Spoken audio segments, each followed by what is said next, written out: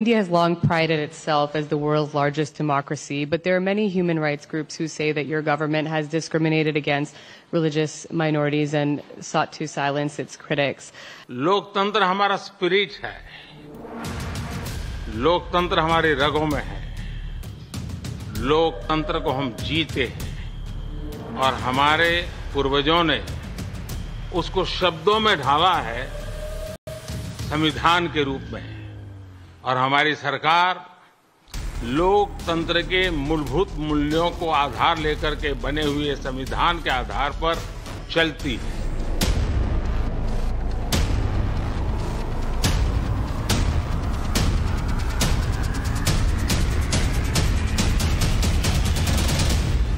तो मैं मोदी जी का शुक्रिया अदा करती हूँ और सबसे पहले मैं ये बात कहना चाहती हूँ कि हम स्टूडेंट्स के लिए बहुत सी अच्छी सहूलतें पैदा की हैं मोदी जी ने। मसलन स्कॉलरशिप वगैरह और पढ़ाई पर ज़्यादा ज़ोर दिया है। जो मोदी जी ने वादा किया था सबका साथ सबका विकास उस पर मोदी जी पूरी तरह से खरे उतरे हैं। ये तीन सपने लोगों के होते हैं। रोटी कपड़ा और मकान। मुसीबत में खाना फ्री मिला है। अच्छा जी। और इलाज फ्री मिल रहा है। पाँच लाख तक का बीमा है। और लोगों को मकान फ्री मिल रहे हैं। टेंडर मिला है। जी। और हमारे गाँव में मकान बने हैं। और कोटा भी मिल रहा है, राशन मिल रहा है। और सबसे बढ़िया बात यह है, पूरा अमन है, कहीं भी चले जाओ, किसी वक्त चले जाओ, कोई परेशानी नहीं होती। सुन लीजिए, ये देश के आम मुसलमान हैं। ये किसी पार्टी या संगठन से जुड़े नहीं हैं और ना ही किसी के प्रभाव में हैं। ये वो लोग हैं जिनके नाम पर एंटी मोदी गैंग राजनीति करता है। लेकिन इनके दिल में मोदी को लेकर क्या है वो बताने से डरता है। बहुत कुछ लाभ मिला। मोदी जी ने बहुत लाभ दिया। सबको पाँच पाँच सौ रुपए में सब हमें लाभ मिला। गरीबों को मकान दिए। जवन के अंदर बहुत काम हुआ। सबसे पहले तो भ्रष्टाचार ही खत्म हो गया। ये देवबंद की तस्वीरें हैं। वही देवबंद जहाँ पर इस्लामिक शिक्षा का केंद्र दारुल उलूम है। ये वही देवबंद है जहाँ एक तिहाई वोटर्स मुसलमान हैं और यहीं पर मोदी योगी की तारीफ़ हो रही है। बीजेपी में कानून का राज है। आज है कोई महिला किसी तरह रात को दिन में किसी तरह कहीं चली जाए वो सुरक्षित है। किसी तरह से कोई बात नहीं है। अच्छा जी और मुलायम सिंह के दौर में ये पता नहीं होता था लोगों को कि कोई महिला घर से निकली है वो कान कटवा के आएगी उसके जेवरात छीन लेंगे लोग। इंजीनियर डॉक्टर और तमाम आम मुसलमानों के हाथों में मोदी मित्र का सर्टिफिकेट है। लेकिन क्यों इनको मोदी मित्र का सर्टिफिकेट दिया गया? और क्यों मोदी मित्र कार्यक्रम ने ओवैसी, अखिलेश से लेकर राहुल गांधी तक सभी विपक्षी नेताओं को परेशान कर रखा है? ये आपको बताएँगे। लेकिन सबसे पहले जरा भाईजान का लेटेस्ट बयान सुनिए। कैसे मोदी के नाम पर मुसलमानों को डराया जा रहा है? नरेंद्र मोदी की सरकार ने सी डबल ए का कानून बनाया, जो खुद रिलीजन के नाम पर डिस्क्रिमिनेशन करता है।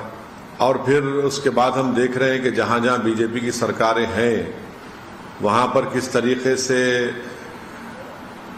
झूठे इल्ज़ाम में घर को तोड़ दिया जाता है मॉब लिंचिंग हो जाती है, गाय के नाम पर लोगों को मार दिया जाता है। मोदी मित्र योजना क्या है और क्यों इससे मुस्लिम वोट के ठेकेदार पार्टियों में टेंशन है, ये समझ लीजिए। दरअसल बीजेपी ने विपक्ष के कोर वोट बैंक में सेंधमारी करने और अल्पसंख्यकों में अपनी पकड़ मज़बूत करने के लिए देश भर में कार्यक्रम की शुरुआत। 22 जून को देवबंद में बीजेपी के अल्पसंख्यक मोर्चा ने मोदी मित्र सम्मेलन का आयोजन किया, जिसमें बड़ी संख्या में मुस्लिम समाज के लोग जुड़े और बीजेपी सरकार की तारीफ़ की। प्रोग्राम का कॉन्सेप्ट है और क्यों आप लोग ये प्रोग्राम कर रहे हैं? प्रधानमंत्री जी ने हमेशा कहा है कि हमें देश की सेवा करने के लिए कोई ज़रूरी नहीं कि हम फौज में जाएँ सीमा पे जाएँ। देश की सेवा करने के लिए कोई ज़रूरी नहीं हम राजनीति में जाएँ। हम परिवार के साथ रहकर भी देश की सेवा कर सकते हैं जहाँ है वहाँ से। हमने इस कंसेप्ट को लिया है और ऐसे है जो हमारे भाई जो राजनीति में नहीं आ सकते हैं जो फौज में भर्ती नहीं सकते हैं लेकिन जज्बा है उनके अंदर। वो प्रधानमंत्री जी के कामों को सराहते हैं। प्रधानमंत्री जी जो देश को विश्व गुरु बना रहा है, बना रहे हैं, वो उसमें सहयोग देना चाहते हैं। ऐसे नॉन पॉलिटिकल लोगों को हम माननीय प्रधानमंत्री से जोड़ रहे उनका मित्र बना रहे ऐसे हम एक लोकसभा में पाँच हज़ार नॉन पॉलिटिकल लोग, जो पत्रकार भी होंगे, जो डॉक्टर भी होंगे, जो इंजीनियर भी होंगे, जो समाजसेवी भी होंगे, जो विभिन्न विभिन्न पदों पर काम कर रहे होंगे, और जिनका समाज में स्थान भी है, ऐसे लोगों को प्रधानमंत्री का मित्र बना रहे प्रधानमंत्री श्री नरेंद्र मोदी जी से जोड़ रहे बीजेपी देश भर में मोदी मित्र उन अल्पसंख्यक समुदाय के लोगों को बना रही है जो आम नागरिक हैं और किसी पार्टी से नहीं जुड़े हैं। जो मोदी सरकार की योजनाओं के लाभार्थी हैं और पीएम मोदी के कार्यों से प्रभावित हैं। इसके लिए पार्टी की कोशिश अल्पसंख्यक समुदाय के बीच पकड़ मज़बूत करने की है।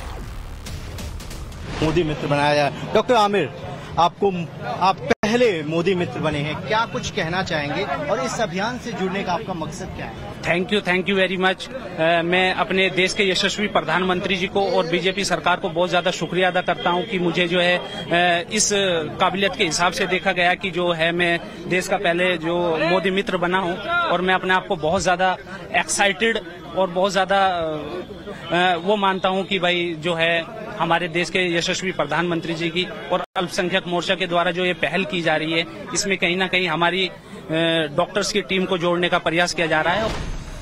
बीजेपी अल्पसंख्यक मोर्चा ने मोदी मित्र कार्यक्रम के लिए पैंसठ लोकसभा सीटों को चुना है। ये वो सीटें हैं जहाँ अल्पसंख्यक समुदाय निर्णायक भूमिका में है। इनमें 10 राज्यों और एक केंद्र शासित प्रदेश की लोकसभा सीटें हैं। यूपी से इस अभियान की शुरुआत करने की वजह यह है कि राज्य में अल्पसंख्यक समुदाय सबसे ज़्यादा है और लोकसभा सीटों के लिहाज से भी यूपी सबसे आगे है। मोदी मित्रों को कार्यक्रम के अंत में प्रधानमंत्री नरेंद्र मोदी से मिलाने का एक कार्यक्रम रखा गया है। बीजेपी ये मानकर चल रही है कि 2024 के लोकसभा चुनाव में अगर अपनी पुराने सफलता को दोहराना है तो उसे अल्पसंख्यकों का साथ ज़रूर चाहिए। इसीलिए अल्पसंख्यकों तक पहुँचने के लिए ये मोदी मित्र सम्मेलन का कार्यक्रम लॉन्च किया गया है और इस कार्यक्रम में डॉक्टर इंजीनियर प्रोफेसर जैसे जो प्रबुद्ध वर्ग के लोग हैं, उनको बीजेपी से जोड़ने का कार्यक्रम रखा गया है और उनको बीजेपी से जोड़ने के बाद प्रधानमंत्री नरेंद्र मोदी से अंत में उनको मिलवाया जाएगा। 2024 के लोकसभा चुनाव से पहले बीजेपी ने तीन लाख पच्चीस हज़ार मोदी मित्र बनाने का टारगेट सेट किया है। हर विधानसभा में पाँच हज़ार मोदी मित्र बनाए जाएँगे। अल्पसंख्यक वोट बैंक को लेकर बीजेपी की बड़ी तैयारी से विपक्षी पार्टियों की नींद हराम है। जिस वक्त मोदी अमेरिका दौरे पर थे, उस वक्त भी इंडिया से लेकर अमेरिका तक मोदी एंटी मुस्लिम हैं, ये प्रोपोगंडा चलाया गया। व्हाइट हाउस में उनसे जब ये सवाल पूछा गया कि आपकी सरकार पर अल्पसंख्यकों और विरोधियों के दमन के आरोप लग रहे हैं, तब मोदी ने करारा जवाब देकर सभी का मुँह बंद कर दिया।